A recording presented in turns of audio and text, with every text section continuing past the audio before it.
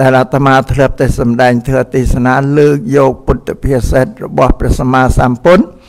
ជាបរមគ្រូមកសម្ដែងបញ្យលនេះអាត្មាភាពសម្ដែងធម៌ហ្នឹងក៏សម្ដែងរាក់រាក់ខៃពាកមកឲ្យរាក់រាក់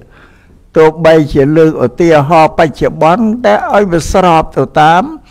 មេគាទ្រឹស្ដីរបស់ពុទ្ធសាសនាហ្នឹងហើយញោមញាតស្ដាប់បាន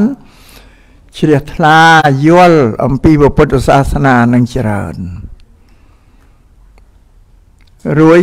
ម្យ៉ាងទៀតมันមិននៅតែប្រទេសអូស្ត្រាលីសំបីតែនៅឯកម្ពុជាអញ្ចឹងដូចគ្នាព្រោះខ្មែរយើងអ្នកកាន់ពុទ្ធសាសនាមកនេះអត់បានសិក្សារៀនសូត្រអីទេវាក្រិនតែតាមពូជពងវងត្រកូលដូនតាចាស់ទុំម៉ែឪ យើងកើតឡើងឃើញព្រះសង្ឃឃើញវត្តអារាមញោមញាតពុទ្ធបរិស័ទនឹងតែម៉ែចដូនតាម៉ែឪតែងនាំទៅវត្តទៅធ្វើបុណ្យហ្នឹងពោតដឹងតែប៉ុណ្ណឹងឯតែបុណ្យក៏មិនដឹងជាម៉េចបាបក៏មិនដឹងជាម៉េចជាទៅទៅតតតាមគ្នាទៅអានឹងជាផលវិបាកមួយ សម្រាប់យើងអ្នកកាន់ពុទ្ធសាសនាមិនបានដឹងថាពពុទ្ធជាបរមគ្រូលោកទូត្រង់ទូលមានបញ្យលយើង ប្រាប់យើងយ៉ាងម៉េច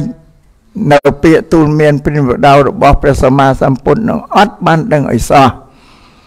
ម្ល៉េះហើយការកាន់ពុទ្ធសាសនានេះដោយយើងអត់បានទ្រឹស្យល់ទ្រឹស្ដីមេគាពុទ្ធសាសនានេះអានឹងជាផលវិបាកមួយសម្រាប់យើងព្រោះយើងប្រព្រឹត្តការធ្វើបាការគោរពពុទ្ធសាសនាហ្នឹងវាអត់ទៅតាមមេគាពុទ្ធសាសនាទេបាទអាត្មាសូមជម្រាបថាទឹកដីកម្ពុជាយើងនេះ មុនពុទ្ធសាសនាយើងដែលរីកចម្រើនឡើងវាមានសាសនាព្រាហ្មណ៍មុនដែលចូលមកលើទឹកដីព្រះរាជាណាចក្រកម្ពុជាហ្នឹងព្រះពុទ្ធសាសនានិងសាសនាព្រាហ្មណ៍ហ្នឹងពូជកំណើតដើមកំណើតមកពីប្រទេសឥណ្ឌាមកពីចម្ពោះទ្វីបដូចគ្នាទាំងអស់ចូលមកសកលគ្នានឹងឯងប៉ុន្តែសាសនាព្រាហ្មណ៍មានឥទ្ធិពល ជាខ្លាំងជាងពុទ្ធសាសនាដោយសារមេសាសនាព្រាហ្មណ៍ដែលឈ្មោះកនដេញព្រាហ្មណ៍ឈ្មោះអ៊ុនទៀនបថោងនោះគាត់មានអំណាចគ្រប់គ្រងលើអាណាចក្រកម្ពុជាយ៉ាងនេះម្ល៉េះគាត់ផ្សាយ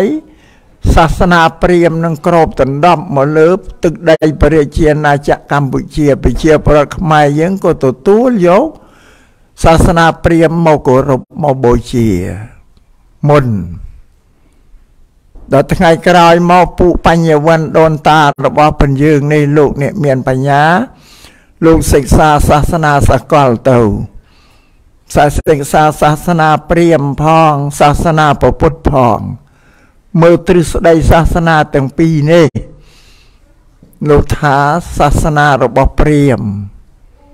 សាសនារបស់ព្រាហ្មណ៍នេះមានតែហេតុទេតែអត់មានផលទេ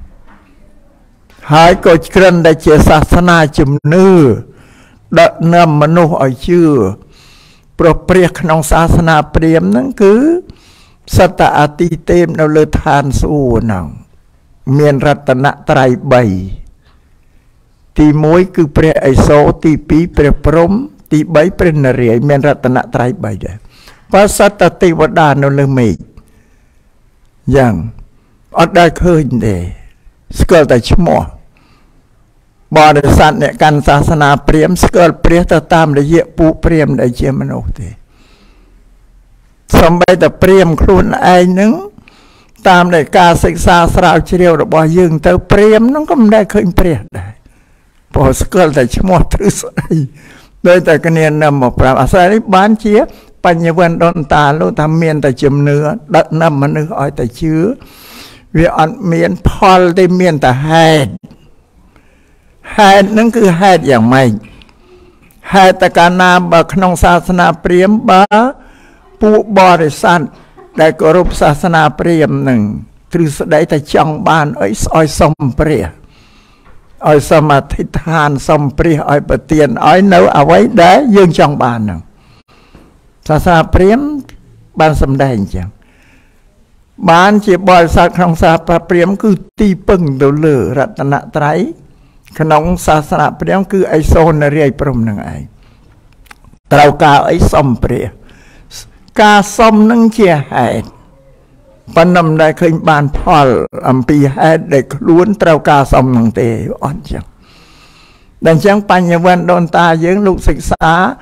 ទ្រឹស្ដីពុទ្ធសាសនានេះគឺសាសនាដែលប្រកបដោយហេតុនិងផល